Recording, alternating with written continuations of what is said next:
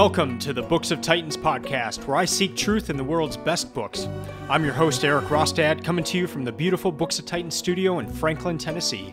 My goal is to read 52 books per year and share what I'm learning. I'll talk a bit about each book, tie ideas together from a variety of genres, and share the one thing I always hope to remember from each book. Today I'm going to cover Promises to Keep by Joe Biden. This is book 37 of 52 for my 2020 reading list. This episode is part of a special series I'm doing where I'm reading a book by or about each of the four main candidates for president and vice president. I then cover each candidate on the podcast in the following order. The first episode on October 9th covered Kamala Harris. The second episode, October 16th, was Donald Trump. Today, Joe Biden. And then next week, October 30th, will be Mike Pence. And I will also talk about the Libertarian candidate, Jo Jorgensen. The election is on Tuesday, November 3rd. I'm going to make as much of an effort as possible to not use any outside information in these episodes. I'm presenting what I learned from this book, not what I learned from the news or from friends and family or other sources. This episode will be very similar to the other episodes about Kamala Harris and Donald Trump, and my goal is to present the content in such a way that you cannot tell who I favor. So here's the breakdown of this episode. First segment will be personal details about Joe Biden. Second segment will be professional details. Third segment, top three policy stances, as well as some quotes. And then segment four, the one thing, the, the main thing that stuck out to me about Joe Biden. I chose to, to read Promises to Keep by, by Joe Biden even though it was written 12 years ago. This was written in the run up to the 2008 election. And at the point that he wrote this, he was a, a, candidate for the president. So he became Obama's vice presidential candidate, but but at this point, he was running for the job of, of president. So you it, it's an interesting take because it's before he knew that he would be uh, on the vice president ticket. And it's also he Joe wrote a a book more recently called Promise Me Dad, but that was about his son Beau who passed away from brain cancer in 2015. So that I knew that book would be more about that story and not as much about his life and his policies and his professional life. So despite this book being 12 years old, I wanted more of that. I wanted more of the the background story and and about his life. And so this this book was the right choice. Um, and you know a lot's happened since he wrote this book but for the purposes of this episode and comparing the candidates this this was going to be the best book. I, I also want to uh, highlight that this was the longest of the four books that i read by the candidates. Uh, it's an extensive look at biden's life both personal and professional and his time in the senate. So to get started on his on his personal personal details he was born in 1942 which puts him in the silent generation. It puts him at the very end of it, and and some may have him as a a boomer, depending on the on the delineation of the of the years there. But let's let's go with the delineation that is in the book Generations that I covered uh, in a previous podcast episode. The the thing that stuck out to me in that book is that we have never had a president from the silent generation. Silent generation is people who are born from 1925 to 1942. We've had plenty of candidates, but we have never, ever had a president from the silent generation. And I just find that fascinating. We had seven presidents from the previous generation, the GI generation, and we've had three, uh, potentially four, if, if uh, depending on the year breakdown again, from the boomer generation. Uh, some put Obama in the Gen X, some put him in Boomer, but uh, Clinton, Bush, and uh, Trump are all in the in the um, Boomer generation. Biden's parents were Joe Joseph Biden, uh, who was born in Baltimore in 1915. He saw both good times and bad times uh, in in in terms of work. Uh, so they they lived quite well, and they lived not not not as well. Uh, but through all that time, Joe Biden saw his father working working very hard. His mother was Jean Finnegan, and his father and mother married in May of 1941. They had Joe a year later in 1942. Uh, Joe Biden went to high school at Archmere, which is in Delaware, and in his sophomore year, he was the class representative, and then in his junior and senior years, he was the class president. The thing that really stuck out in his early life is that he had a stutter, and he worked very hard to overcome that stutter.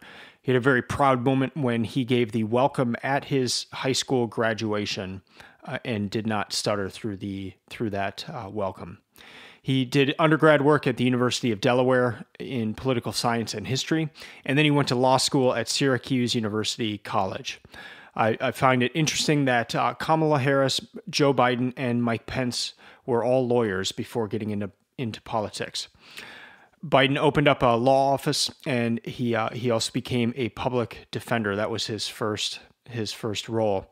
He met uh, Neilia Hunter in 1964, and he makes a, a, nice reference to The Great Gatsby, which I'll read because The Great Gatsby was on my list this year, and, and this stuck out to me.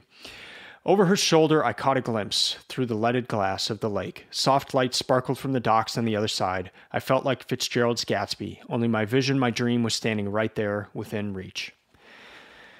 They got married in 1966, and they had Beau Biden in 1969, one year later, Hunter in 1970, and then a year later, Naomi in 1971. In 1972, shortly after Biden was elected to the Senate, his wife Neilia was driving with all three children in the car to get a Christmas tree.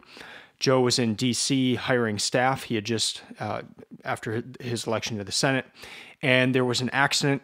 His wife and baby girl, Naomi, were killed, and Beau and Hunter were also in the car, and they had serious injuries that kept them in the hospital for for quite a quite a while. Um, Biden took six months to grieve, uh, take care of his sons who were who were recovering, and uh, just to get his life back back together. And then he went to uh, to serve his term as senator. In 1977, he married Jill Jacobs, and in 1981, they had a daughter named Ashley. In 1998, he sought the presidential nomination, of which I'll say more in the next section in his professional life. But uh, around this time, um, he started getting headaches and later discovered that he had an aneurysm. And I want to read these sections of um, of the book about his aneurysm because this is this is amazing and, and one of the things I did not know about Biden. There was blood in my spinal fluid, which meant I had an artery somewhere in my head that was already leaking blood. After a, a, CT scan and an angiogram, the doctor who explained the results of the combined tests looked worried. I had an aneurysm lying just below the base of my brain. I wasn't sure exactly what aneurysm meant, but doctors have a direct and simple analogy for explaining the malady. They told me to think of my artery as an inner tube inflated inside an old bicycle tire. When a spot on the inner tube thins, it weakens and begins to bulge. Air can begin to leak out or it can burst. Mine had already leaked, and that's what had knocked me out in Rochester the night before. It might have accounted for the episode in Nashua n- nearly a year before. I was lucky to be alive, but if the aneurysm bled again, I probably wouldn't survive. The size of the worst bulge in the leak meant that a fatal rebleed could be imminent. Surgery to shore up the spot where I'd bled was the best chance I had of survival, but the procedure I'd need was delicate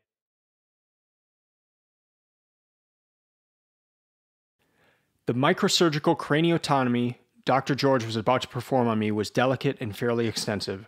George would have to open up my head, lift my brain slightly, and travel through the thin space cont- containing the c- cerebrospinal fluid between my skull and my brain, all just to get to the aneurysm lying deep beneath the base of the brain. Once there, he would carefully expose and dissect all the small arteries until he found the tiny berry like aneurysm surrounded by a small clot. After gently dissecting the aneurysm, the neurosurgeon would then place a tiny metal spring clip to occlude the neck of the aneurysm permanently, while being careful to allow for normal blood flow through the adjacent artery. Dr. George explained that the second, smaller aneurysm was unlikely to burst anytime soon, so he would leave that for another operation weeks later. When he finished explaining the procedure, I asked George about the chances in the first surgery. The reason I read that whole uh, that's the end of the quote there. The reason I read that whole thing was just to describe what what happened and and it was amazing to hear that they had to they had to cut his head open and then lift his brain up and then not just do that once but twice so he had two of these surgeries and there was obviously a lot of of potential for for danger and, and memory loss and, and all sorts of things but uh, he he went through that surgery twice in 1988 and in between those two surgeries he had a, a clot in his lung and had to, to be in the hospital for another extended period of time. So all this going on uh, in in 1998 um, when he was thinking that he would be running for president uh, fast forward a few years later to 2015, and as I mentioned earlier, his son, Beau Biden, passed away. That is an awful lot of suffering for for one life, and uh, it was.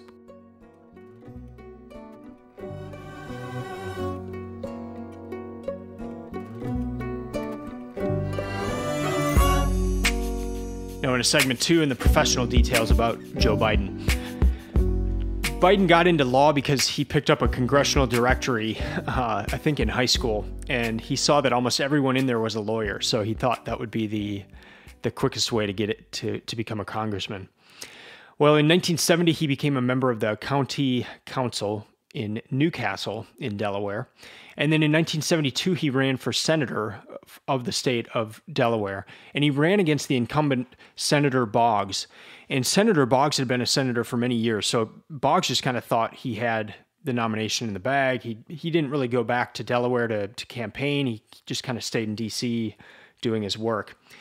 And so Biden was out there meeting as many people as he could. He was running these uh, with his his family members. He was running uh, these coffee um, events where where he would just go to try to meet as many people as he could, and that he would go from like coffee neighborhood coffee event to neighborhood coffee event to neighborhood coffee event throughout the entire day. And so he just worked his butt off and and met as many people as he could, and ended up winning that election but he was 29 years old when he won. So he when he won, he couldn't even get sworn in because you have to be 30 to be a senator. So he turned 30 on November 20th of that year, and then uh, he he was able to uh, to get to get sworn in. But uh, November 20th was his birthday, and then uh, the following month, December, is when the tragic accident happened, and, and his wife and daughter were killed.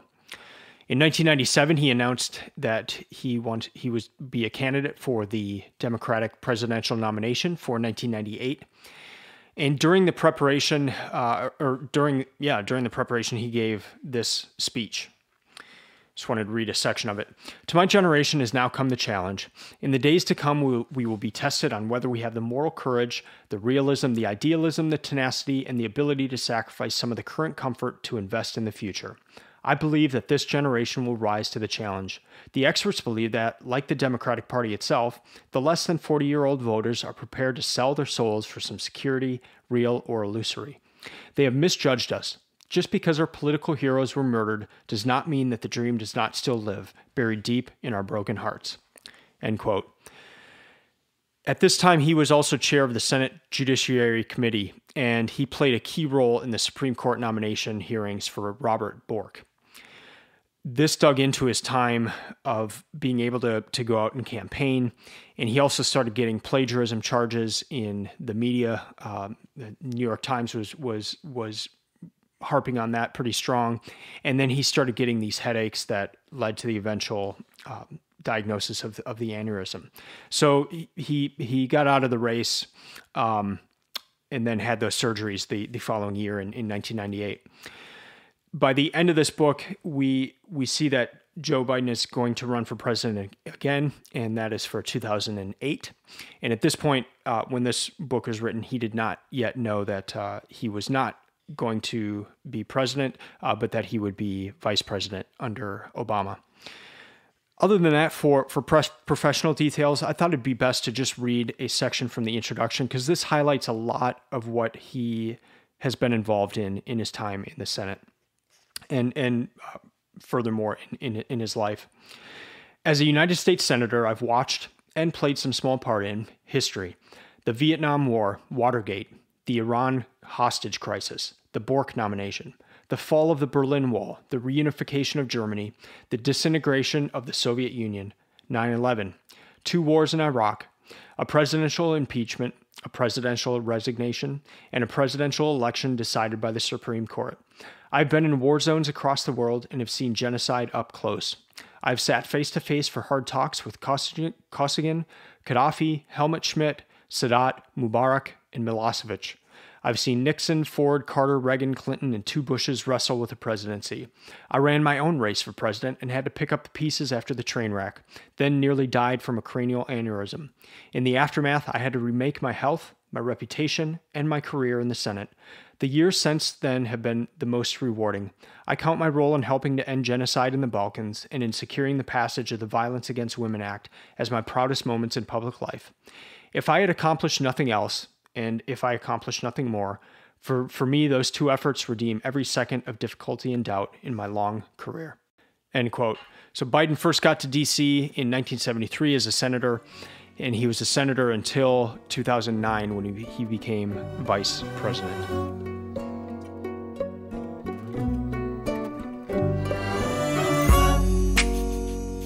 Now, into segment three, and some different policy and beliefs that Biden has, along with some uh, quotes at the very end of this segment. So, the first I'm calling his common thread, and I'm going to read uh, a lot of different sections in, in this uh, segment. With power and privilege, I was taught, comes a responsibility to treat others with respect and fairness. Generosity is not simply a virtue, it's a commandment. And when we see people abusing power, it's our duty to intercede on behalf of their victims. From civil rights and voting rights to my inter- interest in putting police on the streets to protect people from violent criminals in their own neighborhoods, to stopping banks from redlining practices that made it nearly impossible for people living in black neighborhoods to get loans, to pushing for federal guidelines that made criminal sentencing more fair and uniform, to fighting violence against children, to the disgust I felt watching Richard Nixon and J. Edgar, Edgar Hoover abuse their high offices uh, in, in parentheses, he says, I was one of the few senators who voted against naming the FBI building after Hoover, end parentheses, to the fight against the drug cartels in the 1980s. There was a single common thread. As I looked back on my career, it was obvious that, that what had always animated me was the belief that we should stand up to those who abused power, whether it was political, economic, or physical, end quote. Again, the common thread, as I looked back on my career, it was obvious that what had always animated me was the belief that what we should stand up to that we should stand up to those who abused power, whether it was political, economic, or physical. And then two things that that he that he mentions as as being part of this thread are his role in in stopping the the war in the Balkans. He he went to to meet Milosevic. He met some of the other the other leaders um, he had discussed for Milosevic and, and, came back to Clinton and told him all that was going on. Uh, it took a while. Uh, they they eventually um, tried to stop the um, Milosevic going against against Kosovo, and and Biden uh, describes his role in that. The other thing that he's that Biden's very proud of is the Violence Against Women Act. And what's interesting is that was he he fought so hard for this, and it was so important to him that um, to get it passed, he had to vote for the crime bill. And so the crime bill and the Violence Against Women Act were coupled together. And he gets a lot of heat for for voting for the crime bill, um, but the, the Violence Against Women Act was was one of his main things he was fighting for, and, and, and those two things were were put together. The second policy or belief issue that I want to highlight is that of abortion. And I'm going to read different passages of what he says about that. Well, my position is that I personally am opposed to abortion, but I don't think I have the right to impose my view on something I accept as a matter of faith on the rest of society. I've thought a lot about it, and my position probably probably doesn't please anyone. I think the government should stay out completely. I will not vote to overturn the court's decision. I will not vote to curtail a woman's right to choose abortion, but I will also not vote to use federal funds to fund abortion. And then at the very end, I've stuck to my middle of the road position on abortion for more than 30 years. I still vote against partial birth abortion and federal funding, and I'd like to find ways to make it easier for scared young mothers to choose not to have an abortion. But I will also vote against a constitutional amendment that strips a woman of her right to make her own choice. That position has earned me the distrust of some women's groups and the outright enmity of the right to life groups. End quote. The final one I want to highlight is law and order. On page 239, he says this There have been some times when my Democratic colleagues have thought I've gone too far over to the side of the police in law and order issues, but I've always felt that the public safety and security is the first duty of government. A government must ensure safe homes, streets, schools, and public places before it can fulfill any other promises. So I was constantly watching crime statistics for anomalies and new problems. For example, the jump in violence that accompanied the crack epidemic that ravaged the inner cities in the 1980s. End quote. The reason I highlight this one is he said that over and over that he he he considers the first duty of a government to provide safety and security.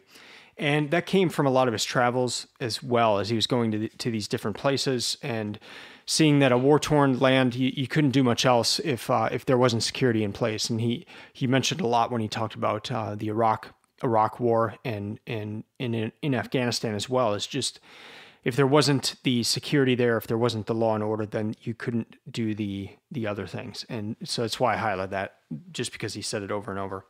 So now I just want to read a few other quotes from from the book, things that that stuck out to me. Some of these are things that he he heard other people say, and then some of them are are things that that uh, he said. But this first one comes from um, from a senator, I believe, uh, East Eastland, and and it starts this. He goes, "Another day, I asked Eastland what the most significant change he'd seen in his time in Washington. Air conditioning," he said. "Huh? Air conditioning, Joe." He said, Used to be we'd be out on the Senate floor, and along about April, the sun would start beating down and heat up that chamber to about 140 degrees, so we'd just go up, up and going home.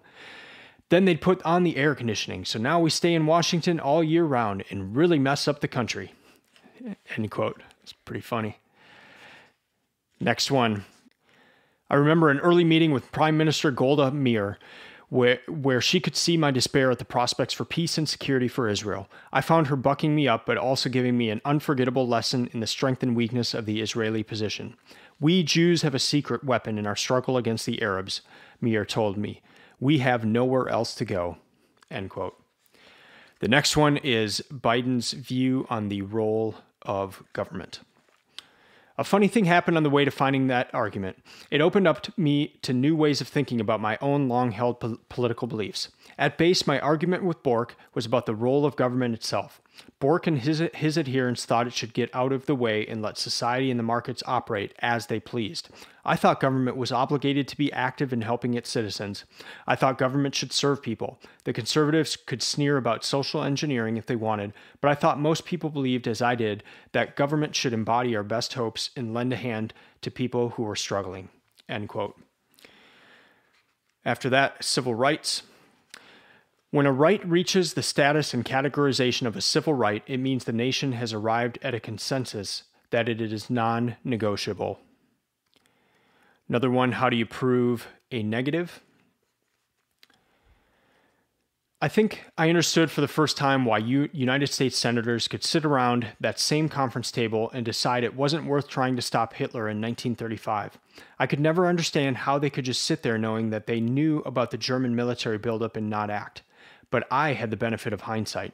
If we'd acted in 1935, it probably would have cost 1,000 American lives, and in 1937, maybe 5,000. But what would those senators have proved? How do you prove a negative? Could they have proved they'd stopped World War II? Could they have asserted they had saved 6 million Jews, gypsies, and other, other undesirables from the Nazi death camps? Who would believe it? End quote. Next one on division. This comes towards the end of the book. What makes the partisanship so debilitating is that it's not confined to one party, and despite what so many pundits say, it's much more than a political tool to win an election. It has shaped our culture and our na- national dialogue. We've lost our ability to disagree without being disagreeable, and to argue substance without questioning the basic decency of the people on the other side of the line. The partisanship rips at the bonds of affection that tie the country state to state, political party to political party, citizen to citizen. End quote. And then the last one this comes in a, in a meeting where uh, Joe Biden is about to take over an office of a departing departing senator. Good, good, he said, and he began to ran, run his hand back and forth across the smooth, polished mahogany. You see this table, Joe? This table was the flagship of the Confederacy from 1954 to 1968. We sat here, most of us from the Deep South, the old Confederacy, and we planned the demise of the Civil Rights Movement, and we lost. And Joe, now it's time that this table go to the possession of a man who was a, who was against civil rights to a man who was for civil rights. I wasn't sure what to say, so I got up and thanked him, and I, I moved to the door. Senator Stennis said, "And Joe, one more thing the civil rights movement did more to free the white man than the black man. He could see me looking at him, confused, and he pounded on his chest. It freed my soul, he said. It freed my soul.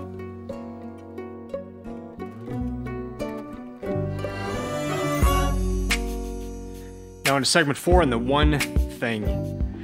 Now, I went into this project of, of reading these four books about each of the candidates with an embarrassingly low amount of knowledge about any of the candidates. Didn't matter if they were Republican or Democrat. I knew the I knew the things that were said about them. I knew things that would be highlighted on the news, uh, but I, I didn't know much about their lives at all. And so the thing that stuck out to me most about this book about Joe Biden is just the amount of history that he's been involved in uh, I, I, think it hit in that quote earlier in segment two where I where I just read from from his introduction. I mean, he met with Milosevic, he met with with Gaddafi, he met with all these different different leaders uh, from from before communism, after communism, um, during major wars that that that we've experienced during our lifetime. He he's been to Afghanistan, he's been to Iraq, he's been there during nine different presidents and he highlights this in this experience in in his in this book. And it was just interesting. I, I I'm I'm fascinated by these kind of, of books anyway where where you see someone's life weaving through all these different these different experiences and these different points of of history uh, I, I read recently the book about David David Crockett, and, and again, there's so much of American history happening through his life. So just to view it from some some one person's life, uh, had a similar thing that that stuck out to me throughout this book is just the amount of history that he's been involved in in in his life and as a senator. So, to recap, I, I, hope you got to know Joe Biden a little bit more. Next week, I'll be covering Mike Pence, and we'll try to keep a similar format. also, talk a little bit about Jo Jorgensen, the Libertarian candidate. That's going to do it for this episode. Thank you for listening. I'd love to hear from you. You can email me at eric at booksoftitans.com. Let me know what you thought of this episode or, or the other ones. If you'd like to support this podcast, you can do so at booksoftitans.com forward slash support. You can follow Books of Titans on Instagram or Twitter at Books of Titans, and the website is stocked full of resources to help you find the best books and to create your own reading list. I'll be back next week discussing Mike Pence and Jo Jorgensen in the final episode of this series of four episodes covering the candidates. Until then, keep reading, keep learning, keep listening. I'm out.